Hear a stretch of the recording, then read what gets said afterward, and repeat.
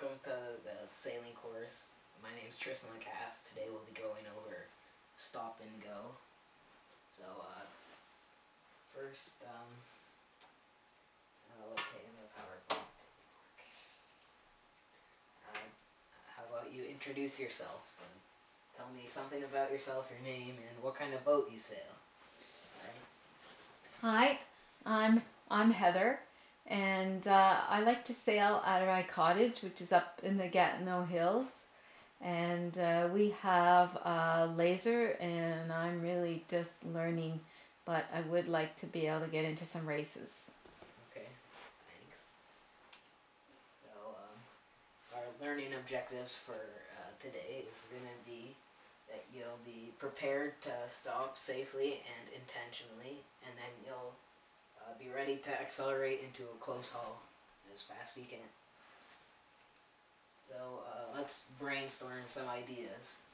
So uh, let's think of uh, some situations of when you want to uh, stop your boat, when it will be important to stop your boat. So do you have any ideas of when you'd want to do that?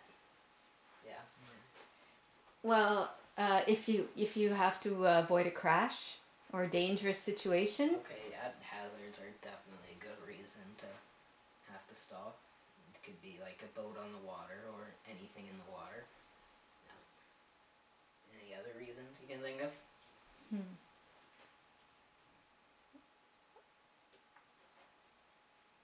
um, how how about if you want to talk to your coach, or you yeah It, it's good. It's good. It's better than um, having to talk to your coach when the boat's still moving. You won't really be able to hear much.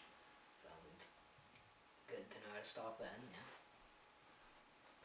Anything else? Uh, do you have other ideas? Okay. when you want to change direction. Uh, well, it wouldn't be too helpful when you want to change direction. You're able to change direction without stopping most of the time. So uh, maybe we can think about in a race situation. What if you were to want to, uh, before you start a race and get to the start line, you'll want to be able to stop quickly and accurately. So you can be before the line and ready to get an advantage on everyone else. And then you'll want to know how to accelerate faster than everyone and have a large advantage in a race. So.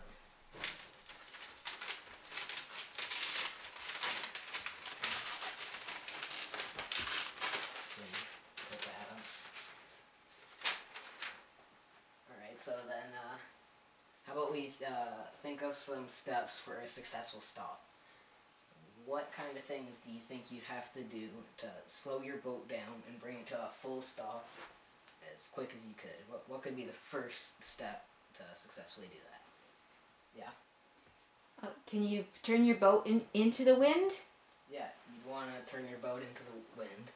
Uh, you head up into irons, and uh, then that'll uh, cause your sails to luff, and there won't be any more speed in your boat.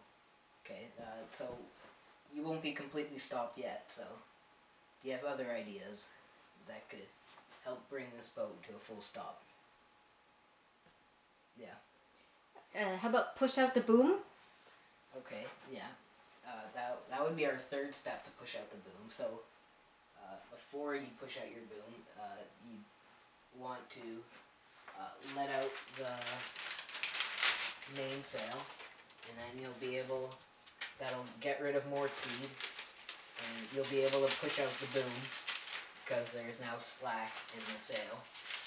And that'll bring the boat to a full stop, and it'll the wind will be pushing backwards on your boat.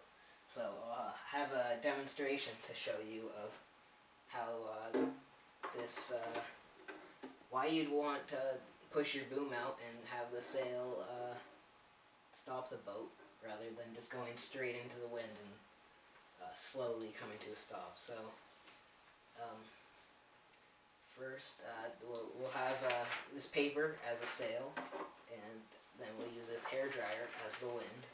So if you're going straight up into the wind, it won't work as well. Your sail is luffing now, so it's not stopping the boat as much as slowing it down. But if you go against the wind, it's getting all of the air on the sail and bringing the boat to a full stop. So it works much more efficiently if you push the boom out and have the sail bring your boat to a complete stop. Okay, so now let's focus on the go portion of the stop and go. So we have two steps to getting the boat going really fast.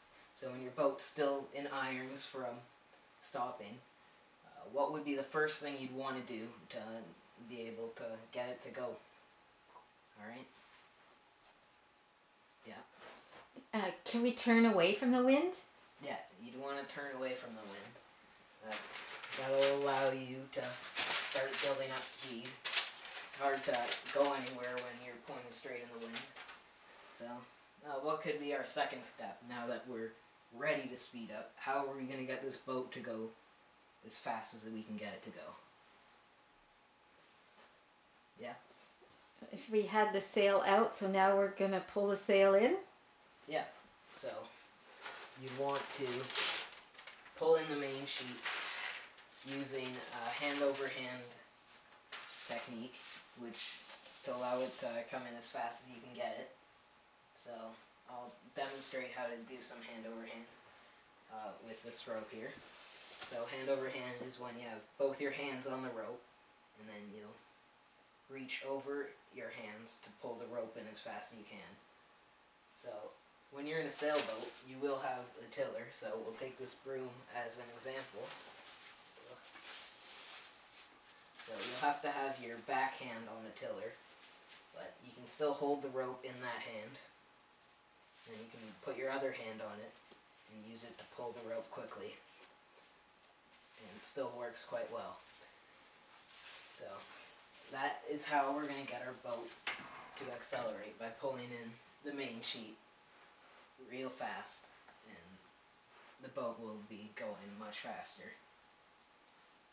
Okay. So, um, now uh, I have some videos to help uh, review our um, review the stop and go.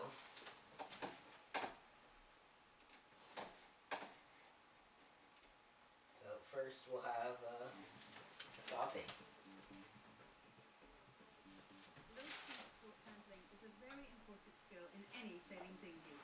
Stopping or slowing down your boat quickly, accurately, and under control is a skill which is most often used to execute a good start.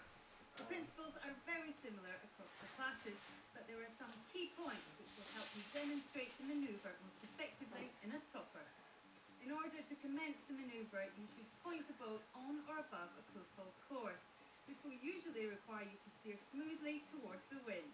Next, ease the main sheet out, allowing the sail to flap to slow the boat down. Ensure you let the kicker off, or the boat will always gently track forwards and will naturally head up.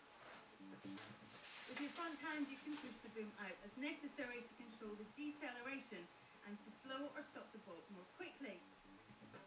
Finally, move your weight back in the boat as necessary. So let's look at that again. Head up towards the wind, ease the main sheet out, push the boom out, and weight back. And once more. Head up, sheet out, push boom, weight back.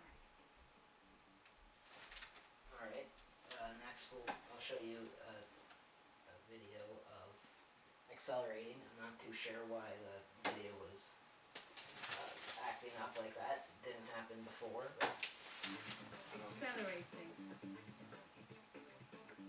This is the process of bringing the boat up to full speed quickly and legally, as well as under full control.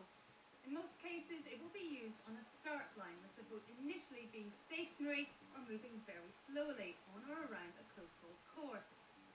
This is an especially important skill which is vital to ensuring a good start and making sure you have tactical options soon after. Firstly, to accelerate effectively, you should ensure that the boat is pointing on a close reach with the main sheet eased. This allows you to accelerate the boat most effectively without the boat slipping sideways. sheet in slowly at first, then progressively faster to take the slack out of the main sheet and begin the acceleration. Allow the boat to heel to leeward in order to help the boat to turn towards the wind and accelerate. Finally, centralise the tiller, roll the boat flat and squeeze in the last bit of main sheet so the sail is adjusted to a close hauled course. So let's recap. Head the boat on a close reach, take out slack in main sheet, heel the boat to leeward, accelerate the boat smoothly. And once again, close reach, power pause, leeward heel, accelerate.